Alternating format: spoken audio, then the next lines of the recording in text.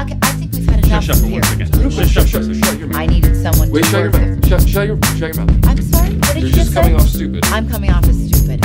You're wearing tuxedos to a job that requires you to clean bathrooms. Please leave this office. We're done with this interview. Do we get any sort of souvenir? Get out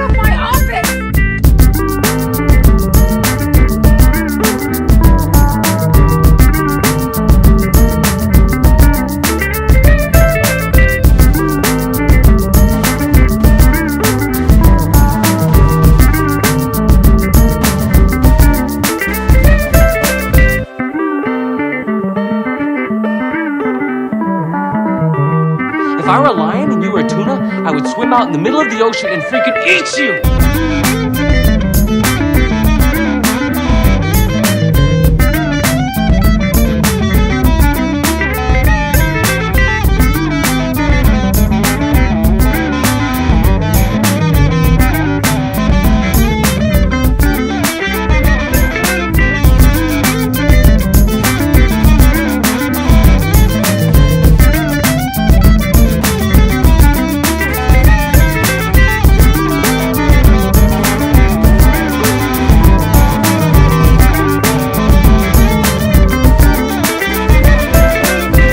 Lions don't like water.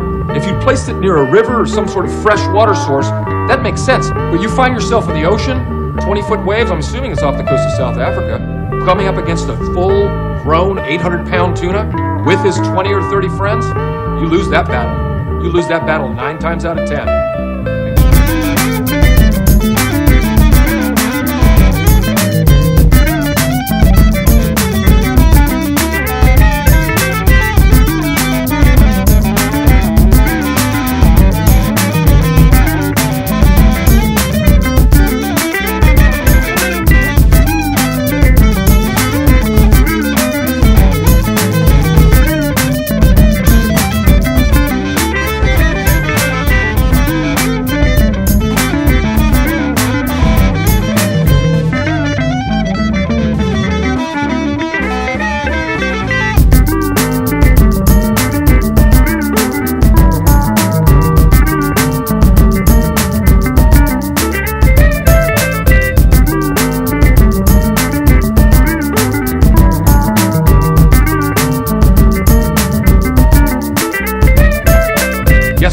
Wandered into our school of tuna, and we now have a taste of lion. We've talked to ourselves, we've communicated, and said, you know what?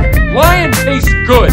Let's go get some more lion. We've developed a system to establish a beachhead and aggressively hunt you and your family. And we will corner your your pride, your children, your How you gonna do offspring. that? We will construct a series of breathing apparatus with kelp. We will be able to trap certain amounts of oxygen. It's not going to be days at a time, but an hour, hour 45, no problem. That will give us enough time to figure out where you live, go back to the sea, get more oxygen, and then stalk you. You just lost your own game. You're outgunned and outmanned. Did that go the way you thought it was going to go? Nope.